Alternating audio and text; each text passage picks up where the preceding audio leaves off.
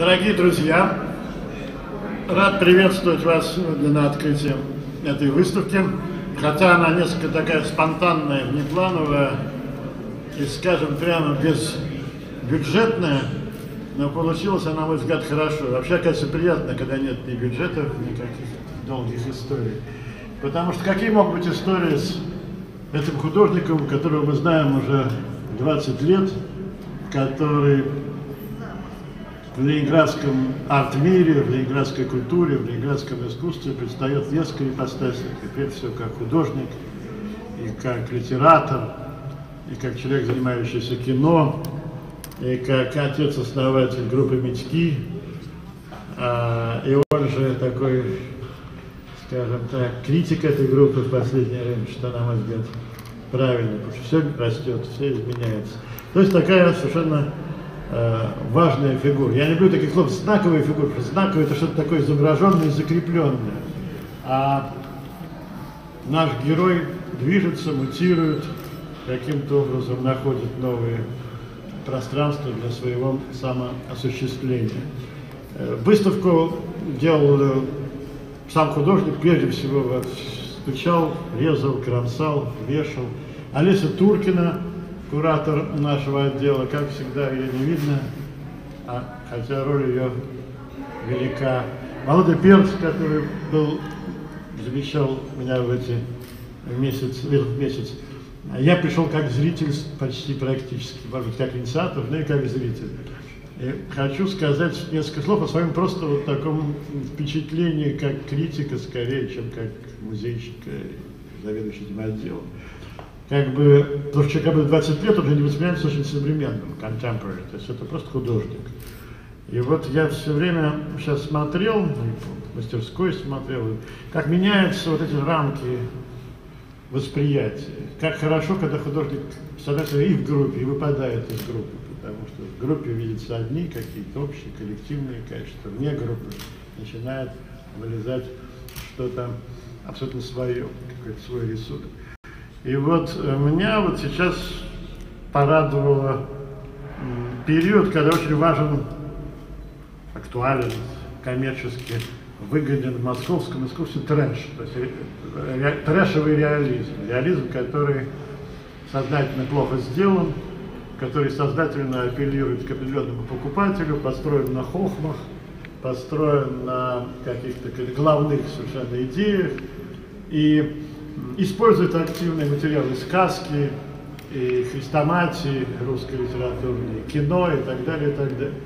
И вот при некоторых общих точках сопоставления Тихомиров не совершенно другим художником, которых гораздо больше, собственно, изначально это было вот этой сугестивности, настойности на снах, на каком-то опыте, может быть, детском, личном, опыте прочтения культуры, потому что здесь действительно хрестоматия, Мишки на севере и кто угодно, танки, все это детские есть, но это по-другому, это не головная, не головные какие-то матрицы, не стёб интеллектуальный, это может быть ерничество, может быть сковорожество, может быть то, что идет от телесного низа, когда-то мы все читали Бахтина,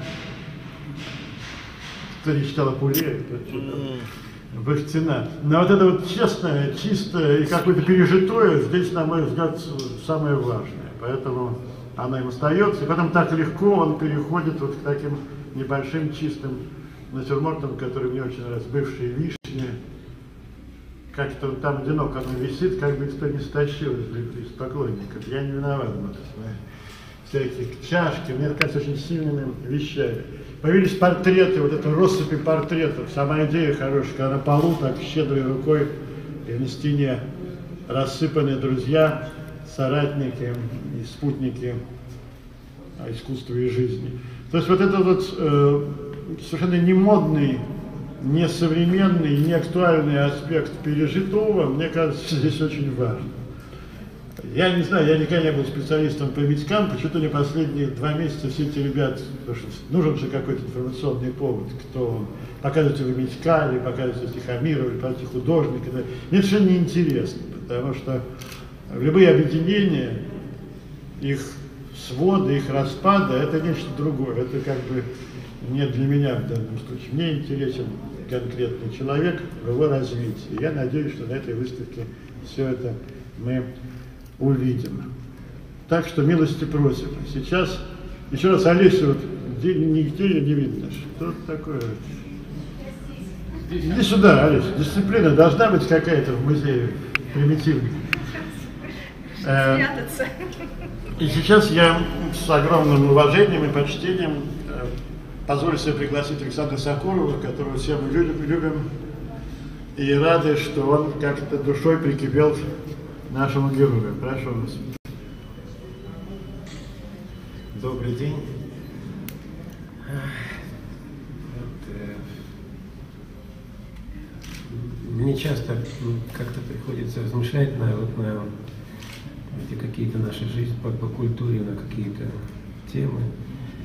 И часто я себе задаю вопрос, э, кто бы мы были без музеев и что мы без музеев. А, ну, я имею в виду среду тех, кто что-то создает или что-то пытается создавать. Наверное, погрязли бы в самолюбовании, в гордыне. И первые слова здесь я бы хотел сказать самой сердечной благодарности этим стенам, этому коллективу, этому музею, э, который совершил этот поступок вовремя, как раз тогда, когда он должен был быть совершен. И мы все, кто близко и давно знающие Виктора, любящие его, в разной степени понимающие его и в разной степени чувствующие его, мы в первую очередь, наверное, испытываем глубокую благодарность сейчас э, Русскому музею. И просьба есть у меня, э, собирайте картины Виктора, берите картины в свое, в свое собрание, сохраняйте, пожалуйста, его. И э, надо прямо сказать, что на самом-то деле э, людей, которые э, сегодня э, основательно, эволюционно работают в культуре, вообще в живописи нашей русской, очень-очень мало. Художников много, а художников мало.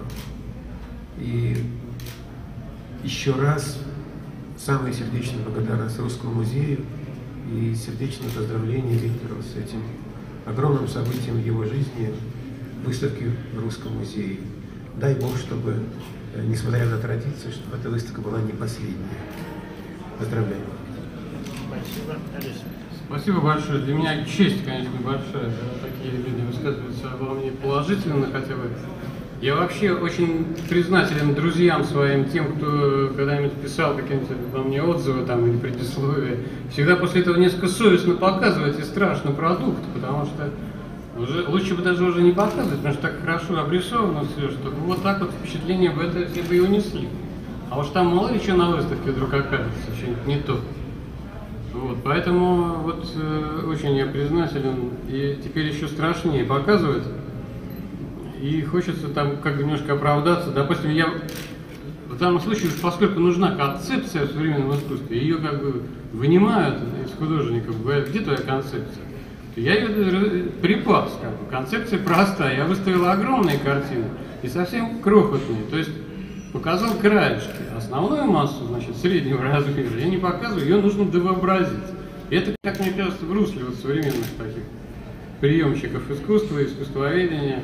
Ну вот я пошел навстречу. И у меня тоже есть просьба к зрителям, ко всем посетителям, ну, на некоторое хотя бы время, на время посещения выставки, удержитесь от скепсиса. Я вас прошу, это такое модное и выгодное вообще э, чувство. Здесь таких нет скептиком быть очень хорошо. Нет. Но вот э, немножечко без него посмотрите, потому что на самом деле все это написано, можно сказать, для себя. Огромные картины никому не нужны для продажи, маленькие пишутся, в общем, недолго. Поэтому э, удержитесь от скепсиса.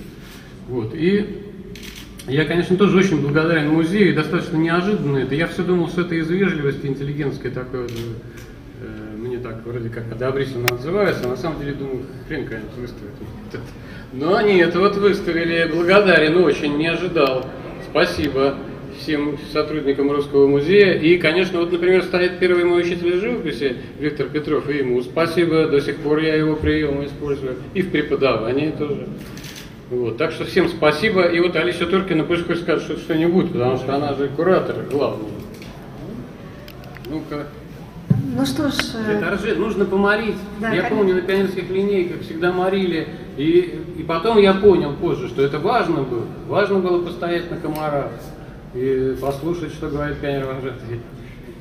Поэтому сейчас вот ну, если мы говорим о пионерской линейке, то как э, в кинофильме «Добро пожаловать» или «Посторонним вход воспрещен», когда я был маленьким, я тоже любила бабушку. Когда, я был, когда мы были маленькими, мы все очень любили Митьков, и на наших глазах эта легенда родилась. И она родилась из любви к русскому искусству, к его традиции, клубкам, коврикам, к русскому авангарду. И она живет в работах Виктора Тихомирова, э, таких э, лукавых и в то же время серьезных. И Виктор Тих- Тихомиров не случайно говорил тоже, я думаю, не без лукавства, удержитесь от скепсиса. Э, Виктор Тихомиров замечательный рассказчик, который любит живопись. Поэтому надеюсь, что мы все это с радостью сейчас оценим. Спасибо, Виктор. И поскольку народу все-таки довольно много, я предлагаю хлынуть на мою выставку.